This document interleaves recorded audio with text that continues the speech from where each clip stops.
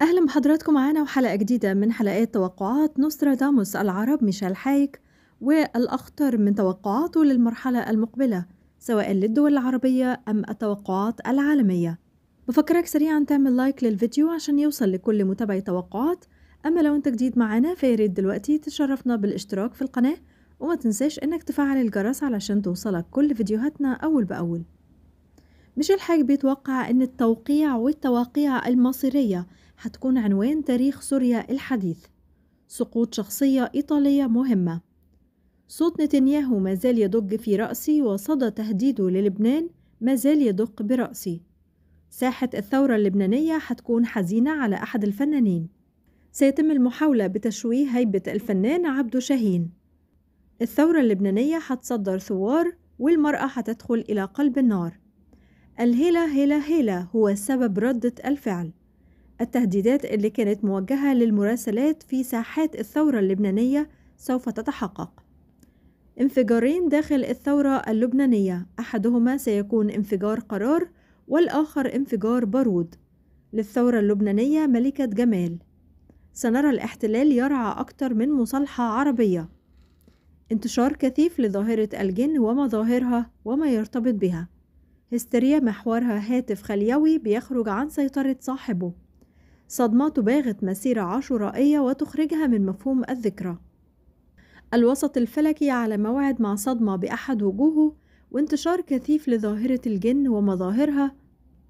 فئة رجال الدين سوف يعلنون الاستعداد للوقوف أمام المحاكم. إنشاء جبهة إصلاحية تصحيحية دينية. مفعول رجعي مسلح على نتائج الانتخابات العراقية.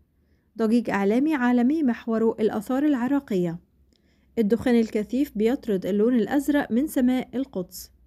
طابور من المستجدات المتسارعة والدقيقة. بيقرع باب الرئيس محمود عباس. صدمة موجعة للكرة المصرية. الإبداع العالمي من صنع صغار لبنان. صدمة تطوير ملف نعيم عباس. صور ومشاهد بموقع عربي بتعيد للأذهان صور ومشاهد من انفجار مرفأ بيروت.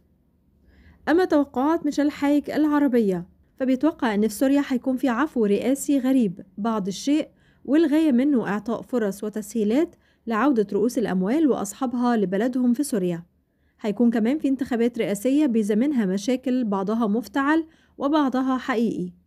فجأة أعداء الأمس هيكونوا أصدقاء لسوريا. بيتفاجئ الرئيس بشار الأسد بسوريين وغير سوريين بيحلوا مشكلة كبيرة. رسائل أمنية من كم سطر موجهة بدبلوماسية للجاليات اليهودية في الإمارات والعكس صحيح. استهداف رؤوس من الجسم القضائي العراقي وبيهتز العراق إثر ارتجاج القشرة الأرضية وإثر مد مائي مرعب. مقتدى الصدر بيقفز من نقطة السلم إلى نقطة اللا سلم وهيكون في ضجة في المغرب وبيتوقع كمان ميشيل حايك إن هيكون في ضجة في المغرب إثر إصابة وجه معروف وصاحب شهرة على أرض المغرب. حالة من الغليان داخل محيط أحد السجون الجزائرية. اسم سيف الإسلام واسم شقيقته عائشة بيشغلوا من جديد مساحة ليبية واسعة. إنجازات بتحمل توقيع مزدوج عماني إماراتي ورهان بحري واسع على سلطان عمان وموجة اطمئنان على السلطنة والأسرة الحاكمة.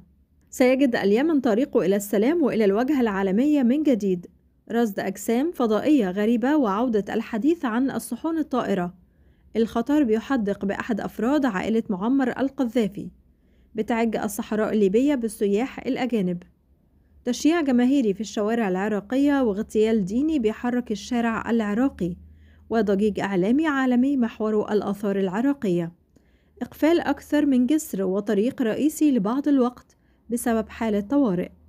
تغييرات خطيرة داخل الحكم الأردني وخطة لإعلان الأردن مملكة للسلام.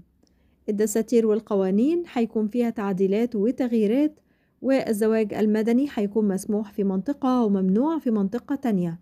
ومساحة لبنان هتتبدل وأيضا النشيد والعلم هيشهدوا تغيير. أما توقعاته العالمية فبيتوقع ميشيل حايك أن رئيس الوزراء الكندي ترودو في مشهد استثنائي بيميل إلى مشهد انتقامي. أمر طارئ في مسار ومصير إحدى الطائرات الكندية. الجمال اللبناني العربي بيحطموا فيديو كليب في كندا. الخضة الأكبر هتكون في واشنطن وأحداثها ظاهرة للعلن وأسبابها عديدة متشابكة ببعضها. حجم الانتظارات بيجعل من أوبرا وينفري في حالة تأهب وبيخسر شارع في منهاتن نيويورك علامته المميزة لبعض الوقت.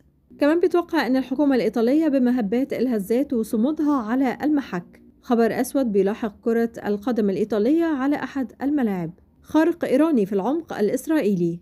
كمان بيتوقع ميشيل حايك أن وزير خارجية تركيا على مفترق سياسي وأمني خطير. الرئيس بوتين وبعض المقربين الرئيس بوتين وبعض المقربين منه بيتعرضوا لسلسلة من الصدمات. متابعينا الأعزاء بكده نكون وصلنا معاكم لنهاية حلقة النهاردة. بشكر حضراتكم جدا وإلى اللقاء غدا وتوقعات جديدة. دمتم بكل الخير والحب والسعادة.